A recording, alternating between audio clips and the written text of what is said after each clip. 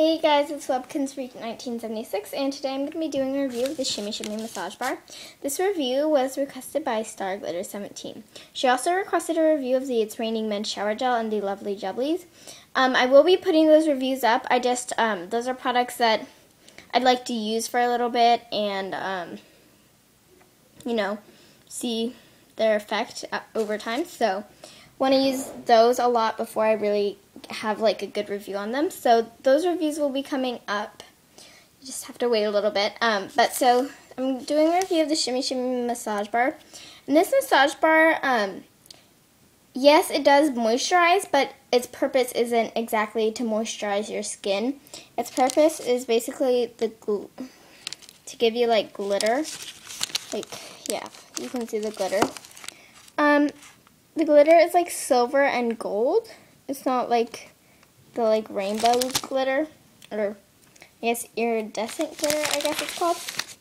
But um okay, so let's just talk about the smell first. The smell is a lot of people well, when I first smelled it, I didn't really think it had a smell, but then I smelled it again, and I was like, this smells like something. And then I realized that it smelled just like Butterball to me, only um, not as potent, not as strong.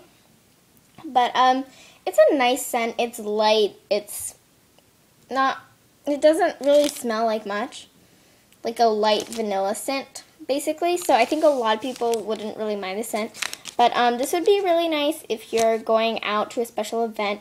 You could use this on your legs or like your arms or something for that whole like shimmery effect. I wouldn't wear this like every single day, but yeah.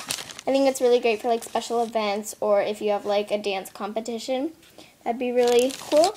And I don't know exactly how much this is, so I'm sorry, but it's it's not that big. Um, let me think of some. Oh, okay. I have a lip scrub to compare it to. Like it's it's really not that big. But um, onto like what it does. So I put it on my arm and you can see the shimmers. So the shimmers aren't like bam in your face. They're um, kind of just very light, but you can like see them. I really like it because it's, you know, like subtle, but you can still notice it.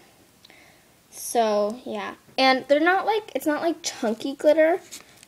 It's not like completely smooth, but it isn't like really gritty. So that's really nice. It's pretty smooth glitter. And um, like I said, it is moisturizing, but um, it's not like the main purpose of it. So I guess it would moisturize like a regular massage bar because it has like all the cocoa butter and stuff. So it's moisturizing. You could definitely use it as a moisturizer if you just like the smell, but I think it's a really nice smell. It'd be really good to use after you've taken a bath with Butterball. But yeah, so um, I've noticed with the massage bars that they're either like they like kind of melt while you're holding them or you have to like kind of hold it in your hands for a little bit and then it starts kind of melting. And this is one of the ones that um, you kind of have to hold in your hands a little bit before it starts melting. So that's good. You don't have to, for the ones that like melt in your hand, you have to get like a tin for them so like they won't melt. So this one I'm just keeping in the Lush bag because I know it's not really going to melt, but glitter does get like everywhere. It's all over my hands now, but yeah. So I really recommend this if you have a lot of special events or you go to like dance competitions or you just want some shimmer. This would be a really great product. I don't think it's that expensive. I think it's like six or seven dollars. So yeah, if you guys want a review on any other Lush or Bath & Body Works products, just comment below. Thank you guys so much for watching, and don't forget to comment, rate, and subscribe. Bye!